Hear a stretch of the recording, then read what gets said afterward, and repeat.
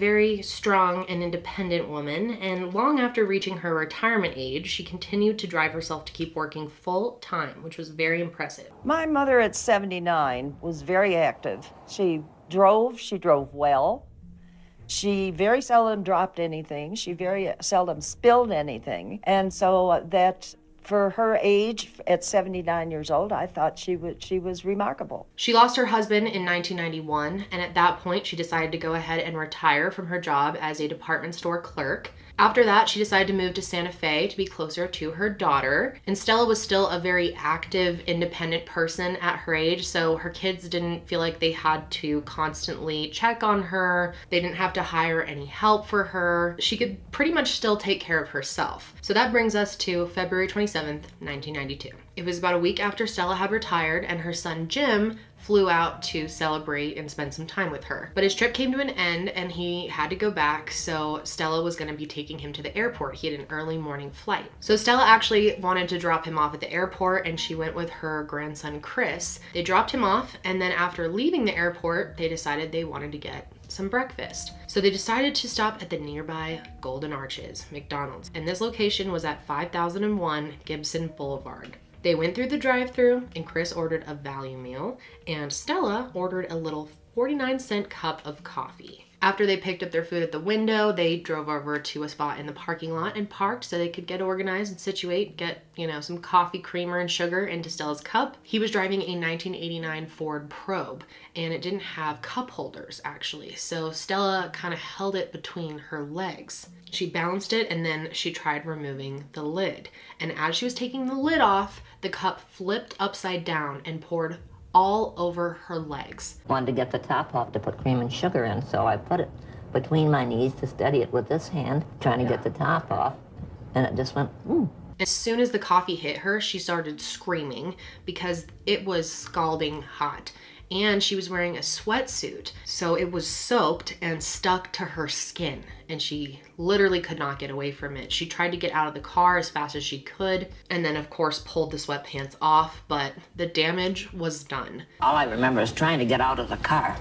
I screamed, not realizing I was burned that bad. I knew I was in terrible pain. Chris happened to have a sheet in the back of the car, so he wrapped her in that had her lay down in the back seat and then drove her to the nearest hospital. And the whole way she was just in agony. During the drive, she was nauseous and lightheaded. She was also cold and shaking uncontrollably. And when they got to the hospital, they were told there was a multi-car accident and they were treating multiple victims from that.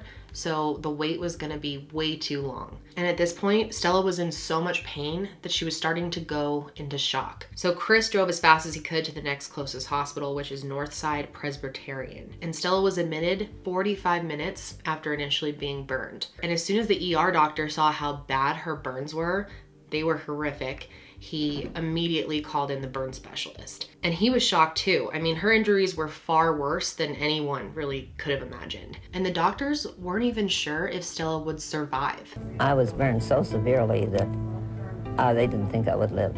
I'm a nurse and I was horrified at the type of injuries that she had sustained. Um, the skin grafts and the pieces that were still ongoing. So it was kind of a shocker because it's one thing to hear, but it's another thing to see. The coffee had burned over 16% of her body.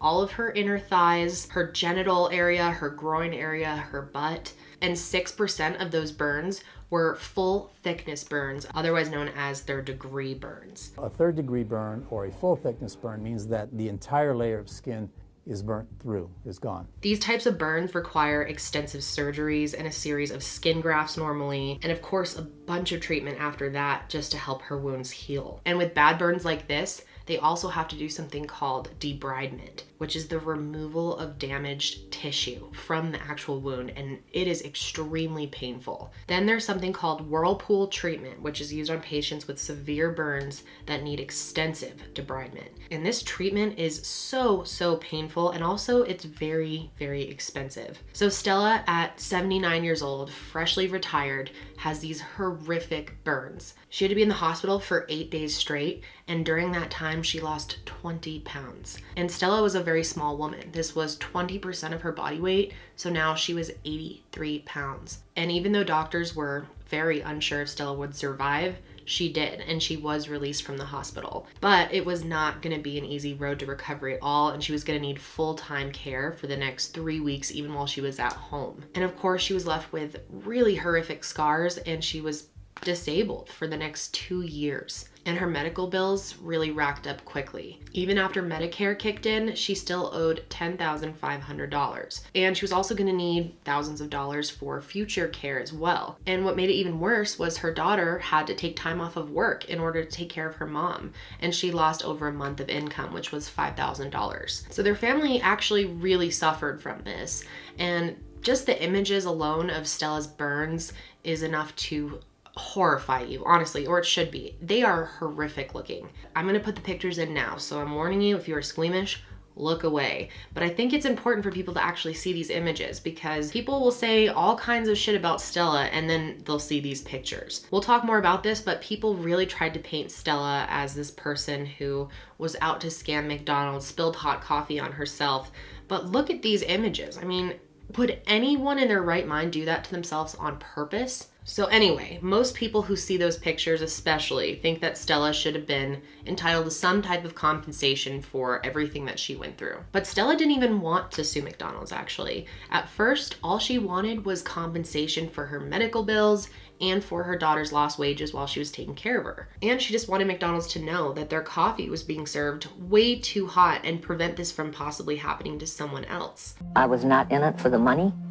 I was in it because I want them to bring the temperature down so that pe- other people will not go through the same thing. So her daughter added up all the medical bills, all the lost wages, and everything totaled up to about $18,000. So she wrote a letter to McDonald's, asked them if they could pay this amount, explained how horrific this was for their mother, and she at this point thought this was a one time mistake. So she asked McDonald's to just check all of their coffee machines and make sure that none of them were serving coffee that was scalding hot. Now, at this time, and keep in mind it was the 90s, McDonald's was making $1.3 million per day just on coffee. So you'd think that this would be a no brainer for them and super easy. All they have to do is send the money that this woman is requesting, and she's not even gonna sue them. It's a good deal. But they decide to get back to her and offer her $800 out of that 18,000. So obviously Stella's family was very upset. They felt like at this point they needed to get a lawyer and that maybe they should sue. But Stella was still very hesitant about the whole thing. She had never filed a lawsuit before and she'd already been through so much stress. But she really just didn't have any other choice because $800 was not even going to come close to covering her medical bills. She needed this money. So Stella worked with two lawyers named Ken Wagner and Reed Morgan. They filed a lawsuit against McDonald's for gross negligence for selling coffee that was unreasonably dangerous and defectively manufactured. We bought a product, it was used as intended, it was unreasonably hot and therefore unreasonably dangerous, and those were the essential facts. And there were several attempts to settle the lawsuit before the trial even started. At first, her lawyers offered to settle for $90,000, but McDonald said no. So they went back to the drawing board and actually asked for $300,000 the second time, and of course, McDonald said no. So they had a mediator, which is a middleman, come in and try to settle the lawsuit, and they suggested that about $225,000 would be fair to settle at. But McDonald's refused, and that went absolutely nowhere. So they had to move forward with a trial. So the trial of Liebeck versus McDonald's restaurants began on August 8th, 1994. Stella's attorneys argued that McDonald's was serving their coffee way too hot and doing it on purpose. They argued that they were requiring their franchise owners to serve coffee at dangerously hot temperatures. According to their official franchise rules at the time, their coffee had to be served between 180 and 190 degrees Fahrenheit, which is about 30 degrees hotter than most at home coffee machines. And other restaurants usually serve their coffee between 140 and 160 degrees. And liquid that's 190 degrees Fahrenheit can definitely cause third degree burns in just two to seven seconds. And of course, the hotter a liquid is, the faster the skin burns. So they started arguing in court that if McDonald's just served their coffee like 20 degrees lower, then it would take up to 20 seconds for someone to get a third degree burn, which gives you a lot more time. This would give someone a chance to remove any clothing they have, especially if they're wearing something like sweatpants. And they also brought up that McDonald's had a long history of ignored complaints about customers specifically that had been burned. It turns out that in just 10 years, 1982 to 1992, their coffee had burned more than 700 people. In most cases, it was people that did the exact same thing that Stella did, accidentally spilled the coffee on their laps in the car. And there were even some cases where employees had spilled hot coffee on customers. And these complaints came from people of all ages, from adults to infants. And during those 10 years of complaints, McDonald's, who was making like a million dollars a day in coffee had paid out $500,000 to people who had been burned by the coffee. So this was a serious issue that a lot of other people had experienced, but the media Never told anyone that, of course. Now, there was a warning printed on their coffee cup, but McDonald's admitted in court that consumers were probably not aware that such serious injuries could be possible from coffee. And long before Stella was even hurt, the Shriners Burn Institute had published warnings to the franchise food industry that people could get really serious burns if they were serving beverages above 130 degrees, which is 50 degrees cooler than what McDonald's was serving at the time. During the trial, McDonald's explained that the reason reason they like to make their coffee so hot is because oftentimes people got it on the way to work, and by the time they got to work, it had cooled off and it was a perfect temperature. McDonald's had a really, really strong reason for why they brewed their coffee at the temperature they did. It was an industrial standard based on the maximum extraction of the flavor and the maximum holding temperature. But it turns out that they didn't actually do any research on this. They didn't test it with commute times and stuff. They had no idea how long it was taking for their scalding hot coffee to cool down enough for someone to drink it safely. And of course, a lot of people don't want it to just sit there while they're driving to work. They want to drink it. But McDonald's said that hot coffee makes it taste better. During the trial, they confirmed that McDonald's was requiring that their coffee pot was as hot as 185 degrees Fahrenheit or more. And McDonald's also admitted that they recognized that if their coffee was consumed right away, that it would be dangerous for the consumer. But a consultant for McDonald's, of course, tried to downplay that 700 person number for their burn injuries. And basically, they argued for every one person that got burned by McDonald's coffee, about 24 million people enjoyed their coffee just fine. And they tried to use that to prove that their coffee was not unreasonably dangerous. People interact with hot beverages all the time in a fast food restaurant, and that doesn't necessarily mean that the restaurant is doing something wrong. So the jury ended up talking about what percentage of fault should really be given to Stella here. And they agreed that some percentage of the fault should be given to her because she did spill the coffee. It's not like someone bumped into her or a car hit her or anything. She spilled the coffee on herself. But they decided that McDonald's was definitely at fault here too, and a lot more so than Stella was. And before the jury came to their decision, they actually found out that McDonald's wasn't planning to do anything about this. They weren't going to redesign their coffee cup or get better lids, lower the temperature, nothing. Stella's doctor also testified during the trial, and it was very powerful. They said that Stella's burns were some of the worst that they had ever seen in their career. The photos depicted where they had to graft the skin from the side of her legs to close the third degree burn.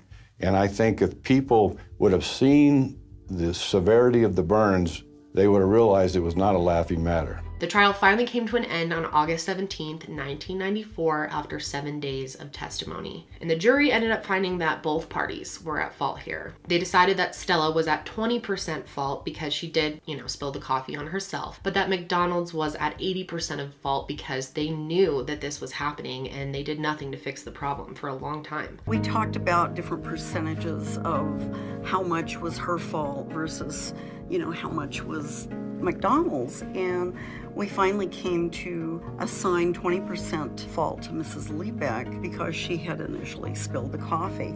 And we assigned 80% of the uh, blame to McDonald's because they had a very long history of people being injured. And they were so adamant that it was such a trivial thing that they weren't going to bother to do anything other than just continue to rake in the money on their coffee sales. And The fact that it was their own records really damned McDonald's as far as I was concerned because it was very obvious that they knew there was a problem and they were ignoring it completely, just totally disregarding the consumer safety. The jury felt like the warning on the cup was not going to be enough and it was not going to do anything to protect future consumers. At the end of everything, Stella was awarded $200,000 for her medical costs and other expenses, including just her pain and suffering. But then her compensation was reduced by 20% because she was 20% at fault, so she ended up getting $160,000. However, she was awarded $2.7 million in punitive damages, which is the equivalent of two days' worth of coffee revenue for McDonald's.